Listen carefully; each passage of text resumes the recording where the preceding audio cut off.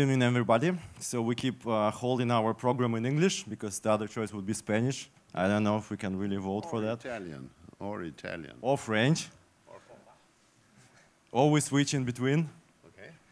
So today is the second day, and we are happy to announce the announce the the I don't know. We always kind of for the quick pronunciation call this part an intellectual part, meaning that we are more talk, less rock.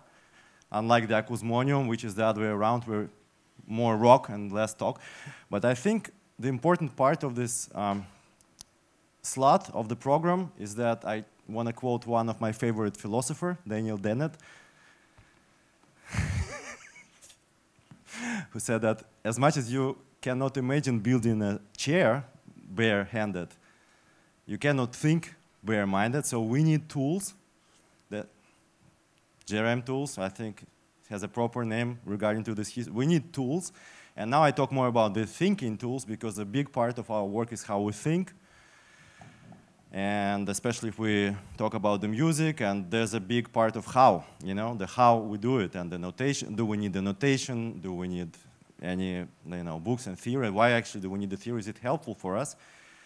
And today, yeah, we start not with an artist talk, but with a conference, which Daniel once mentioned here that it's a boring thing, but uh, of course never with this gentleman, whom I'm very happy to have as a co-curator of our ambitious undertake, Russian Acousmonium. And um, I just want to quickly introduce, if you mind, that because uh, there is a very, I, I think, you know, something that we talk now as much as like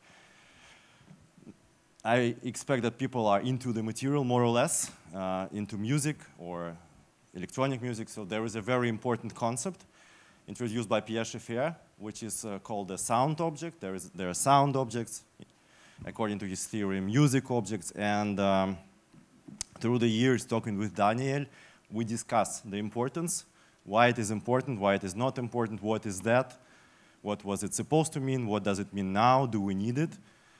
And in the beginning, Daniel uh, was kind of criticizing these things to me. It's recorded in our interview that uh, it's on the in YouTube in our GRM talk of uh, June 2018. The composers quickly abandoned this idea, I quote. And then there was an interview of Daniel Teruggi to GRM in the lockdown. And I read this interview and I realized that, in fact, the same person describes his daily life and the lockdown very much in the terms of categorization and arranging objects and arranging sounds. And I actually think that whether we like or we don't like this idea, we still do the arrangements of sounds, right? Even if we create a folder called 28th of July, Acousmonium, it's, it's an arrangement. So you make it an object, and then the next day would be the next object, or you classify them violin sounds, guitar sounds, whatever sound, noisy, long. So there are very many ways of classification. And then I called back to Daniel and said, you just criticized that, and now you're actually do it. How come? He said, no, no, no, no, no, we will make a conference. I will explain myself. so here he is. I, I, I give him a stage.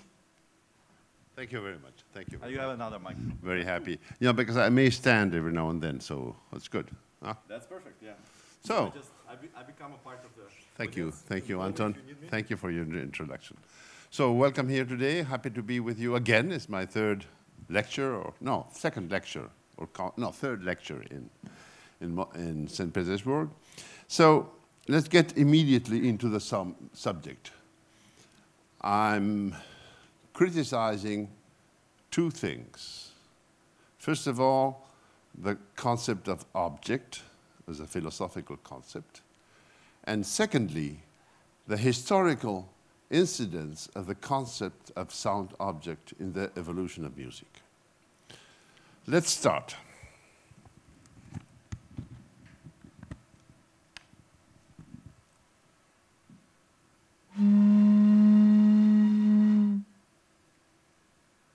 Is this a sound object? Is a sound object an object that produces sound? The answer is no. It's not a conference about sound producing objects. This is a sound producing objects, as almost everything around us is. So we have been accustomed to work with, in music, with specifically adapted sounding objects which are the instruments. But here we are at a more conceptual level. It's sound described as an object. So let me go through it. Let me try to answer to my own contradictions, as uh, Anton says. And let's start with our story. So, first of all, a very short story of music. Not short, condensed, I would say. So let's say that in the history of music, there are three main traditions. The first one, oral tradition, I don't know when it starts, thousands of years ago. It's a consequence of the apparition of music and its main component, which is repetition. The fact that you do something several times and it creates a kind of second sense. There are many theories on how music started. Probably one of the most, for me, credible ones is related to work, to human activity, to repetition of gestures, which produces the same sounds again and again. That may be. Oral tradition means that when something exists, it is transmitted orally from my mouth to your ear. You listen to it several times and then you retransmit it again. It's the beginning of music and it is still running. Why? Because oral tradition is everywhere. If I learn how to play the piano, if I don't have a teacher who tells me how to play Chopin, I will never be able to play Chopin. There's something that's not written that can only be transmitted orally. Popular music is oral tradition, 100%. So as you see, that exists. At a certain point in the 13th century, more or less, the moment is not important, uh, musicians started putting down sound on symbols. The history of writing music started then. And it was first some memory aids when people sang, for example. The no, new neumes tell you what to do. But little by little, it became a more complex system. And it brought different things like abstraction, polyphony, symphony is impossible without something on when to uh, write things down. And more important, or almost as important, the possibility of listening music with your eyes. You read a score and you can represent how it sounds in your mind. Then in the 20th century appears, let's call it in a very general way, media art. The fact that the music is directly, or image, cinema is a similar process, directly inscribed with its sound on some media. And that changes totally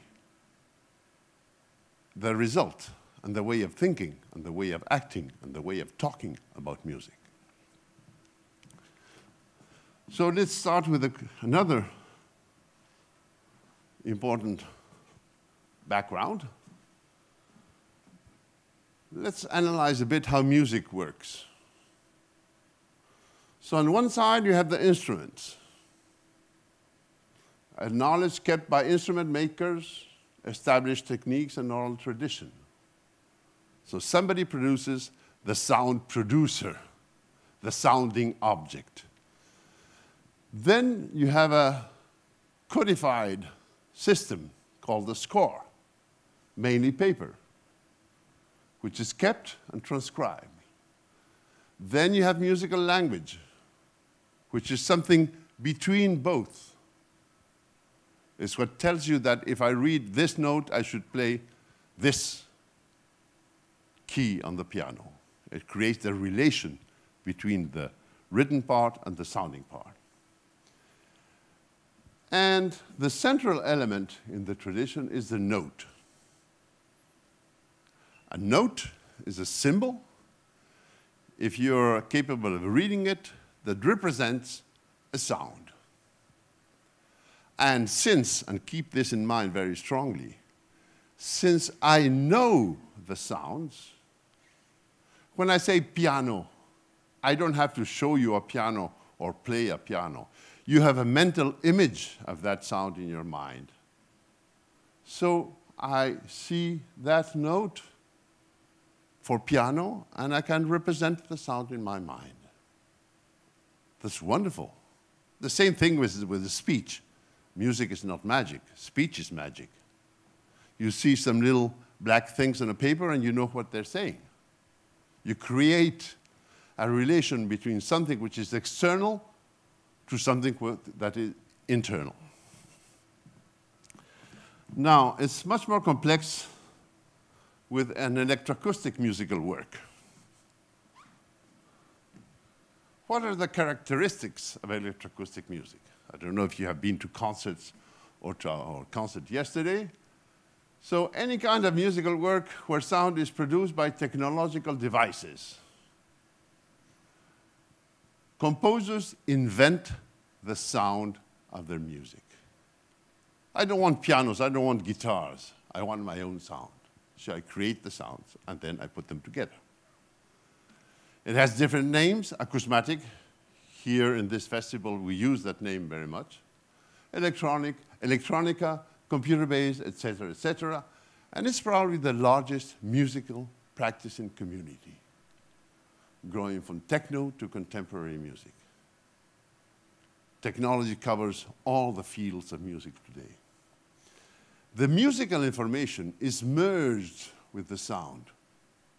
I don't need a performer. The music is already there. No common codes, codes and known sound material for the listener. The first concept was developed by this guy, Pierre Schaeffer, in 1948. He called it musique concrète. We won't go into details on how, why he called it that way, but it's based in recorded sounds and sound editing and mixing technologies. It's very similar to cinema as a historical evolution. So musique concrète, philosophy, procedure, or aesthetics. Go on that side is easier. Philosophy. All the sounds of the world can be used to make music. We should enlarge the realm of possible sounds for music. Procedure. Use recorded sounds and sound processing techniques to bring the sounds of the world into music. Aesthetic. No clear instructions. However, the first works showed the road. So in the center here,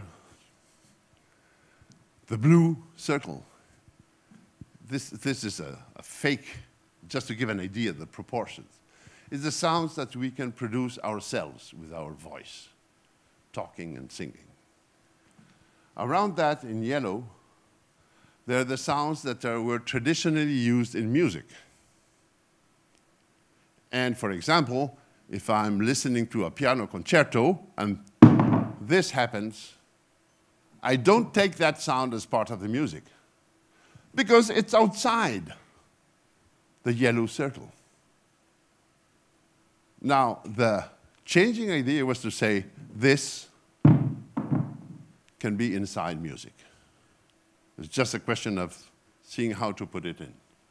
So all of the sounds of the world came into or potentially usable in music. It was the composer's responsibility to take care of that.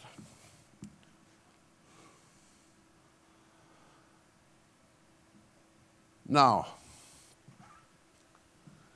one of the first concepts was that of sound object. Here we're getting into the theme. So Pierre Schaeffer, when he started working, needed a conceptual tool to understand, to work, to think the music he was making. Pierre Schaeffer was not intentionally a revolutionary person. He created, he generated a revolution. But his idea was not to change music. Arnold Schoenberg was a much more revolutionary attitude person. He started thinking how we could think music in a different way through harmony. So he wanted to enlarge the realm of sounds for music. And he said, well, traditional music has notes that represent sounds. The concept we're going to use is that of sound object. We'll come back to that several times. So it's the intellectual equivalent of a note in musical writing, a unit for managing sound and organizing musical events. So instead of having do, re, mi, fa, sol, la, si, I have this sound object, this one, this one, this one, this one, and this one, and I combine them in a certain way. So it's intellectually, it is similar to instrumental composition. That was his idea. Its origins is in the Zeit object. It's a concept that comes around the 20s by a great German philosopher, Edmund Husserl, who developed phenomenology. And it deals with sound only through listening. Once again, let me make this sound again. You're listening to a sound made by an action.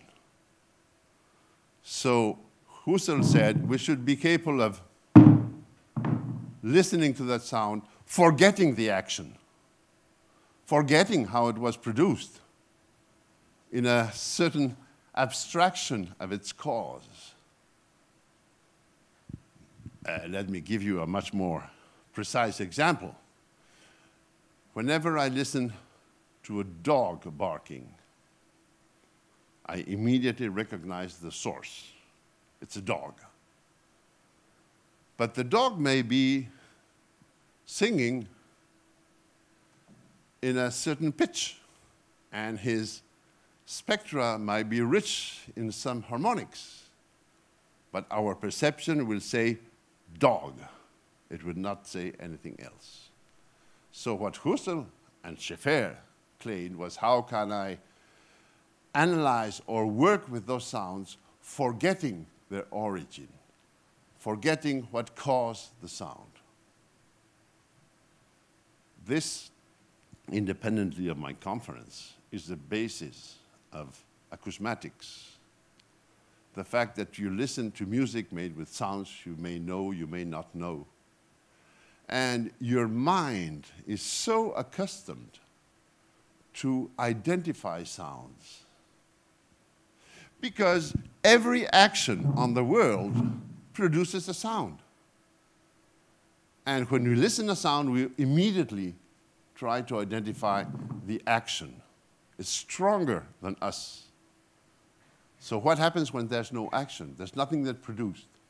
Our imagination starts creating images of, related to the sounds. And since there are many sounds together, music creates a continuity of images. That's what's sometimes so fascinating about acousmatic music. So Schaeffer, instead of talking of Zeit object, he talked of reduced listening. Let's listen to the sound, forgetting how it was done. There was a technology needed for that, the tape recorder, for example. You record a sound, so we're all today very accustomed to record sounds, and we listen to them, and uh, we had listened to them forgetting the cause. Even if this is very tricky, when I listen to Armando's voice recorded, or when I see a photo of Armando, I say, it's Armando. But it's not Armando. It's a representation of Armando through a picture, through a recording. And our mind is continuously going back and forth between the representation of something and its real existence. So this idea of reduced listening was very important for the development of uh, what was going to happen. So let me give you an example. So we start with a recorded sound. You don't have to listen it in any particular way. Just listen to the sound.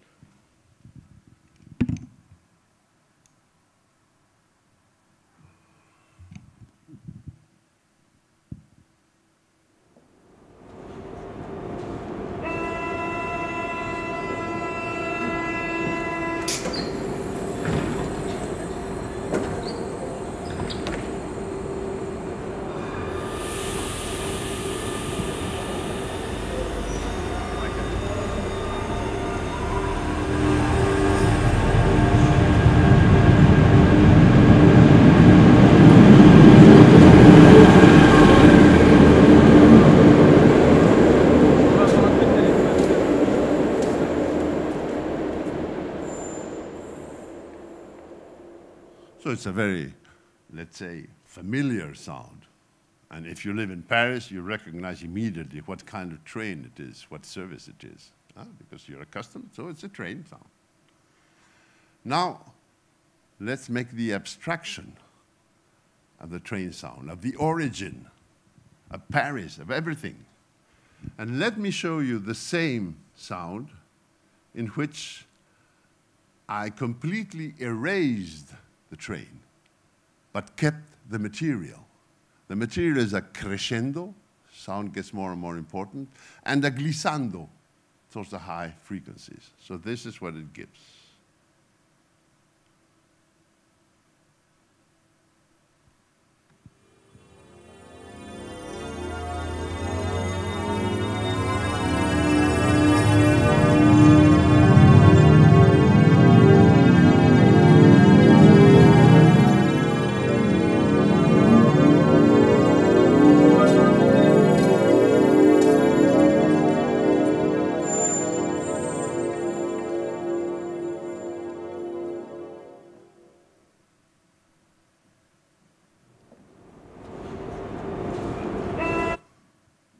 So it follows exactly the same pattern of the train.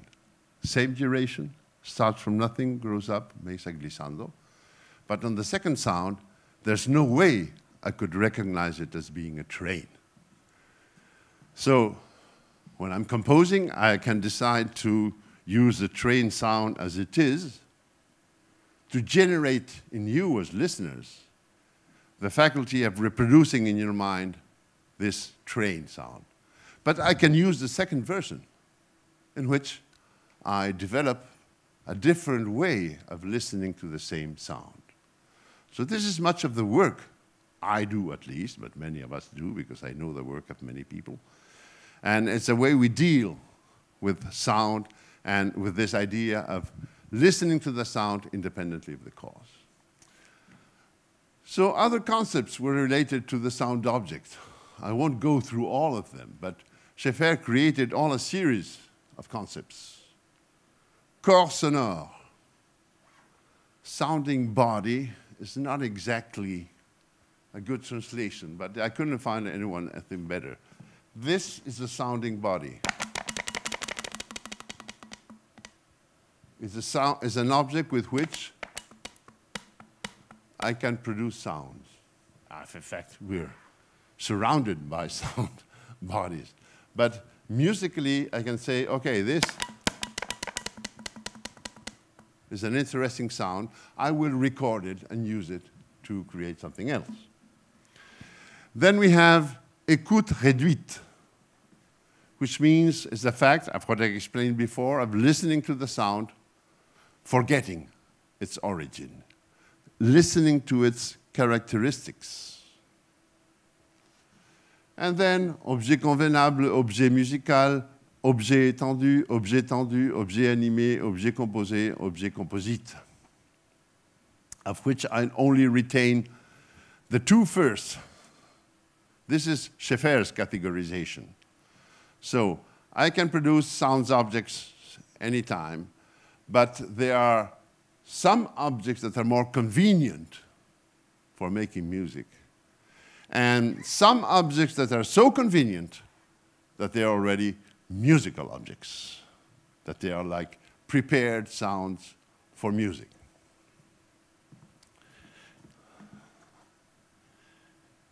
In fact, Schaeffer wrote a famous book called the Traité des objets musicaux, the treaty of musical, musical objects, not of sound objects. But of course, in this treaty, he explains all the characteristics of sound objects. So his idea was in order to work with sound objects, as you see, I'm not still uh, yet criticizing the sound objects. Schaeffer developed a classification system based on what he calls the typomorphology, which describes sounds on two criteria. Typology, what kind of sound it is, and morphology, how is it evolving in time. Let's go back to the dog. I listen to a dog barking. Typology, dog. Morphology, angry dog. That's my deduction. Or happy dog, or whatever. I get the image, I identify the source, and then I see what happens with that source. That is how you listen. All of us listen.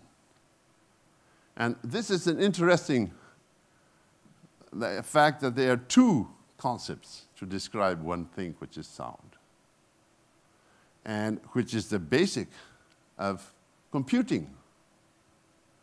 The basic of computing is if you need two informations to have one description.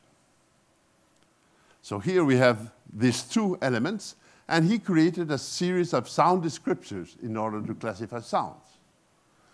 It's ways of saying this sound has a grain, this sound has a mass, this has, an iteration, this is a large note, etc. I won't go into the details. And dozens of other descriptions that are found in his famous book, which was translated to English some four or five years ago. So,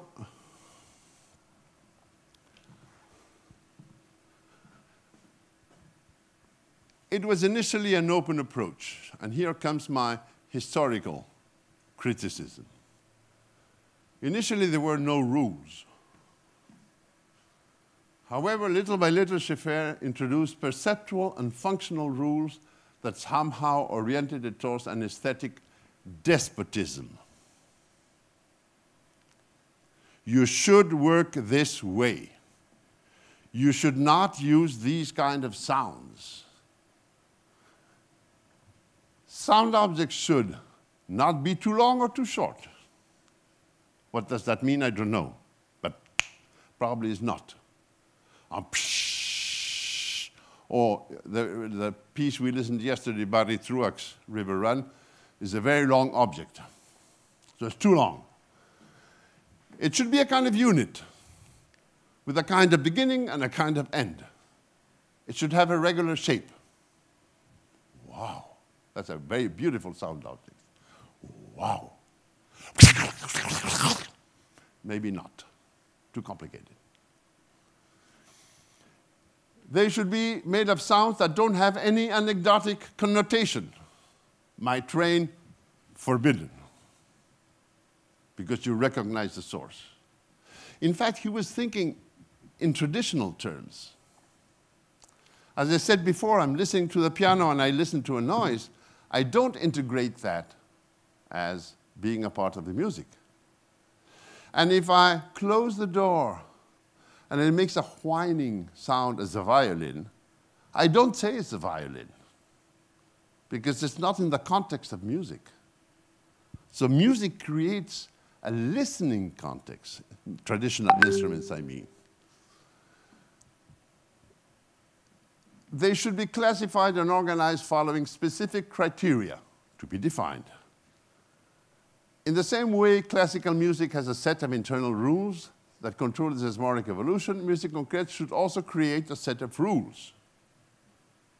You cannot compose if you don't have rules. That's a very traditional. If you have made musical studies, you have studied a harmony harmony has no relation with music. But it is necessary to study harmony to make music. It's a way of thinking. It's not a method of composing. Composers should learn how to listen to sound objects in order to understand their intrinsic rules and constraints. This is probably the most real or still applicable idea. Composers quickly react against these rules and started doing whatever they wanted. This started creating a strong conflict between Schaeffer and the composers, who wouldn't follow these, this set of rules. They were all against him. There's a great composer that passed away 15 years ago called Luc Ferrari. Luc Ferrari made a, word, a work made only of anecdotic sounds. He was kicked out of the GRM because he had gone against the rules. This is why I'm talking of despotism. So here are my comments on the concept of sound object. Initially, it was a needed operating concept. We needed something to work with sounds permitting composers to talk about sound independently of their parameters. Until then, composers didn't give a damn about sound. They had the instruments, they would combine them, create new sounds combining instruments, but the nature of sounds and the nature of sound behavior was not their concern. The musical world was there. Here's my main critic. The idea of sound as an object is strongly related to our visual representation of things. An object has limits and boundaries and tends to be solid. This is quite inconvenient for sound description. This is an object. See, it has a start, a beginning or an end, or a beginning or an end. It's not too long, not too short. Has a form. It's closed. But if I sing, how should that be integrated? Because when Schaeffer started working on sound objects, and you will see it in his treaty, he said, well, I have to imagine something that would englobe all the music that was ever produced. So this includes classical music, for example. How do you reduce a symphony to sound objects? How can you imagine objects? What is sound? Sound is nothing perceptible to our vision, to our touch. And we're using the same word with which you describe visual or tactile objects. His Traité des objets musicaux is in some way, sorry, Schaeffer wanted the theory of musique concrète as a traditional theory of music. However, it was a totally new road for experimentation and invention, no subject to pre-existing rules. And this was the wonderful thing with musique concrète. And this is what composers really loved. I can do with sound what I want. And more and more we advance through time, more and more this concept is so strong. Making music is just doing what you want with any sound. It's my problem to make it sound in a way that will have some kind of impact on your listening. But I'm free to do what I want. So his traité is a theory of musique concrète, but it's impossible to operate with this concept. You read it and you say, I won't make music anymore. Because there are so many rules, so many concepts, so many things that you have to take into account. And I would say it's more a book on aesthetic of sounds and its behavior in music. This is the important side of the book. He explains music in a different way. In fact, he was wanting to understand how composers compose, more than composing himself. He wanted to know what's happening in composers' heads. That's why he started putting rules to composition. However, his wonderful work opened the road to the understanding of a need of operation classification tools and concepts.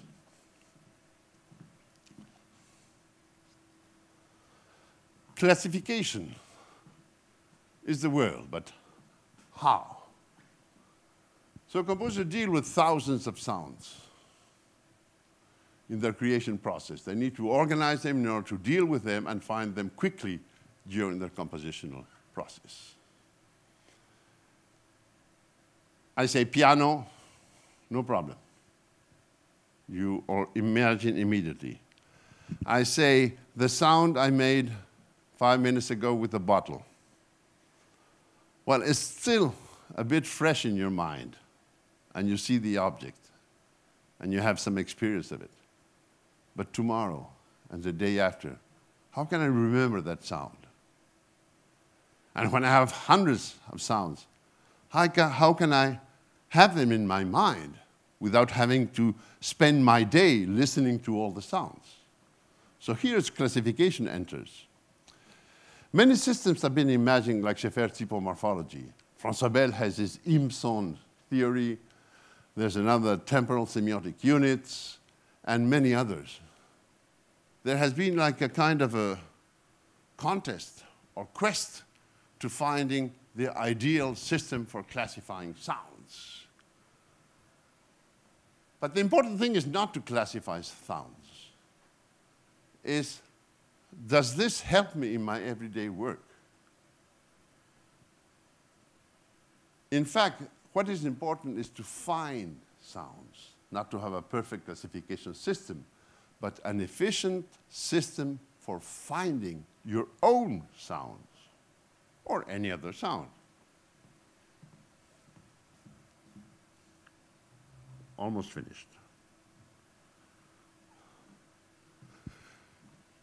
The keyword is description.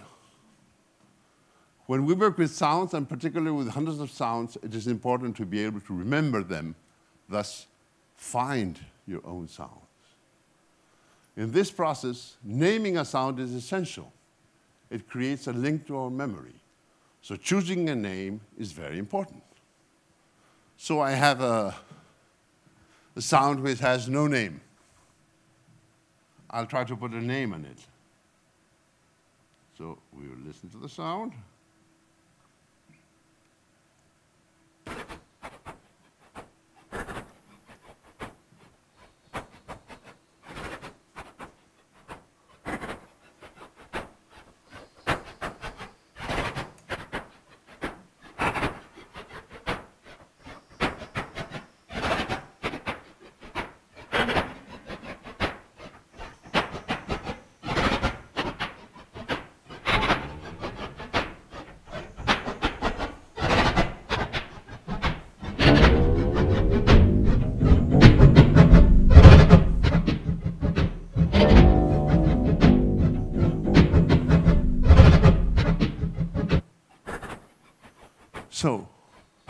Name do I put to it? I have many different criteria to describe the sound. I can describe it through its rhythm, eventually through the pitch. At the end, there are some pitch issues, dynamics, timbre, looks like a guitar, or abstract concepts dancing on the floor, my mother sweeping the patio, things like that.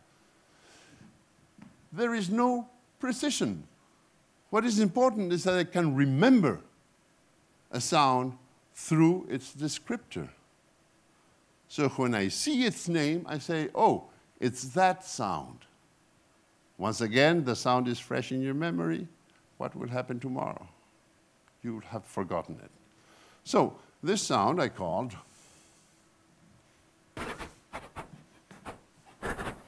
I didn't call it.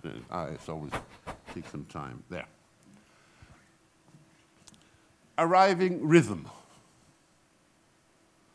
Because the strongest impact it made on my, my perception, you don't have to share what I'm saying. It's my perception. It's me operating with sounds.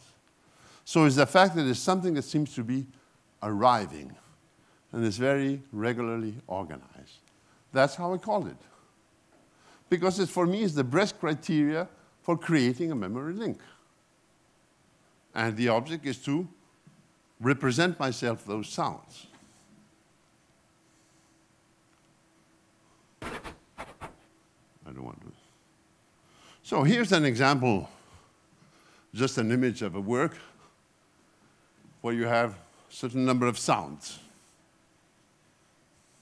Don't try to get into, well, the image is not very clear, but so every sound has a name, a duration. For me, there, there's something a bit fuzzy here, and we already described that in, in reflection groups, is that uh, these things look a lot like objects. They're rectangles. So I'm describing something that cannot be uh, seen as an object, as a visual representation. But we can live with that. So each of these sounds has a name. So here's the list of the sounds in that work. So you can see my criteria. First, I may describe the sound in any language. Second, I have totally different criteria. What impacts me in the first place is what I take it as the strongest way of describing. I will get into a little detail. I may use something like, TTD. That remembers me a work by François Bayle called Tremblement de terre très doux, which is always known as TTTD. In fact, there's a T missing. So that immediately sends me to that work and the Im strong impression in my memory that were made. China, you can, I don't know if you can imagine, but it has something to do with Chinese music or with my own representation of Chinese music, because this, or I may, may use something, for example, this, the fourth one, FL etir pitch ak. There I'm describing the, the technical process I use to create that sound. And now this would be my, my last slide. So how does this work when composing? The sound classification criteria are diverse and even contradictory. Here is a short, a short sorry, list of them. This is the analysis criteria I may use traditional musical parameters. Sometimes it's easier to describe the sound with the score, so use the score. Then timbre, guitar. Real or almost real timbre. It sounds to my ear like a guitar, even if it's not a guitar. But it's the link that is strong, that is important. Behavior, this is Schaeffer morphology, goes up, goes down, etc., etc. Remembers me something, a sound I know well, a music, an event, very strong memory, the TTTD I talked about. Generates a sensation, cold sound, bitter sound. Production technology, I use GRM tools, this, this uh, plugin, etc., etc. Some particular aspects, sometimes technical, distorted sound, I don't use distorted sounds. So whenever I have one, I will put that down because I know. and feelings, angry, happy, etc., you can continue with this list of possible way. And the important thing, as I said earlier, is not, it doesn't have to be real. It has to work for you. It's your own classification system. Then, of course, we could go further on and talk about how we can group sounds into folders.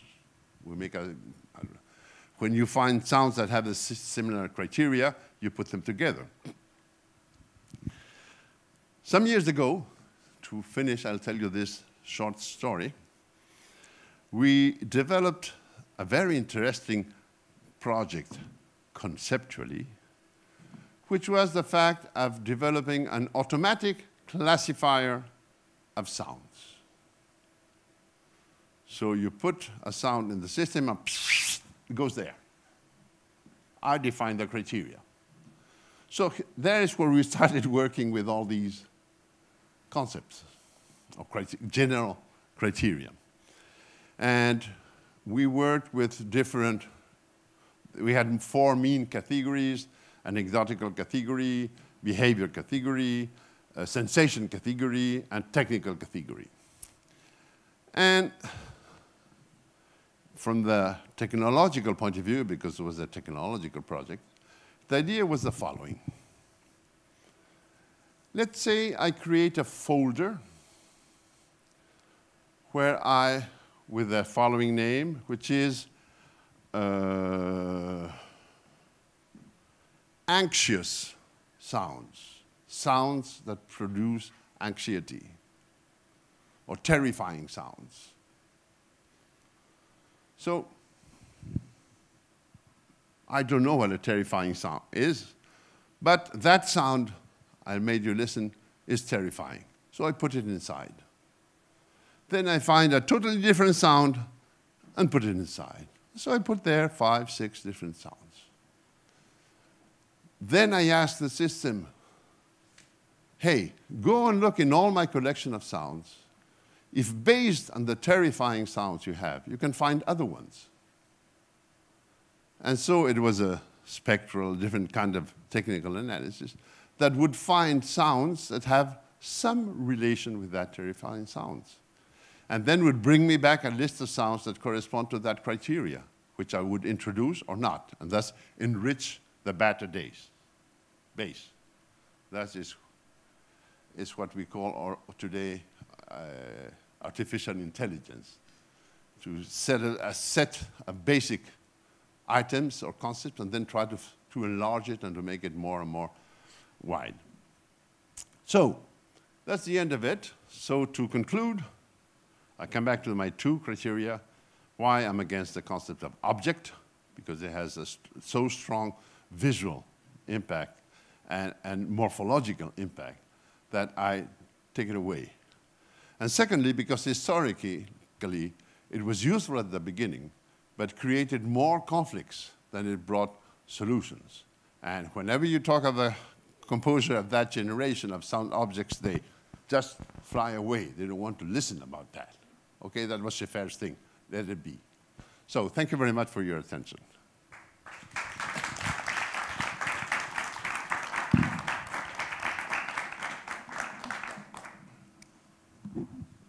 If you have one question. Yeah, first of all, we can really take one question because we're running a little bit out of time. You started late, huh? Uh, yeah, we all started late, you know. So, but yeah, first of all, thanks. And um, I'm not a person of the old generation, so I, I, I made a lot of sense, uh, sense of your talk today. Thanks for that. Brilliant. So, uh, sound object uh, is dead. Viva uh, the sound object, I would absolutely, say. Absolutely, And let's take a question, and then I think we need a break a little bit after, and then we go to Armando. Yeah, I think the so. Question? The question, question, question. You don't give any opportunity for the No, no, I said, and then. Ah. And my question is, you mentioned when you were speaking about uh, the new sounds, you mentioned discovering the sounds and describing them. And then uh, what you demonstrated when you showed the sound of the train and the new sound looked a bit like engineering a new sound. And I would like to point to a tension and ask you maybe to elaborate. There might be a tension between vague description of the sound that's been discovered and kind of precise description of how a new sound has been engineered.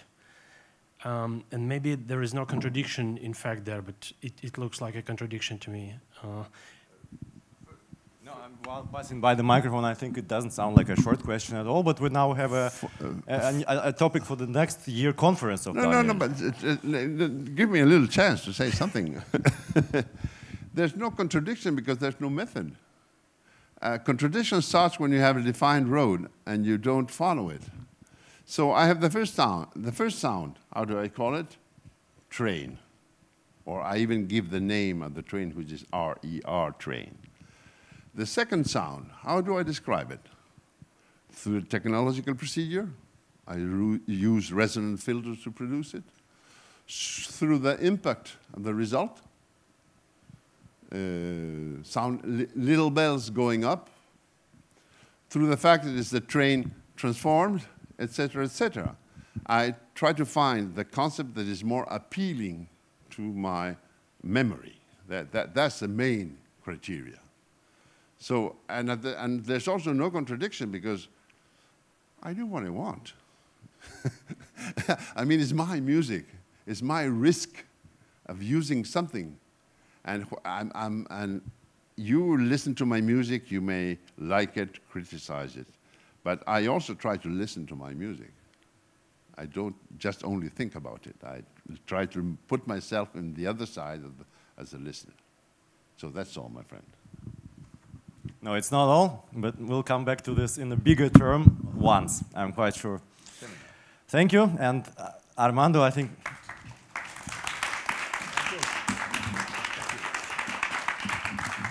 We probably need five or ten minutes here, to, and then we, we meet us here again. Thanks.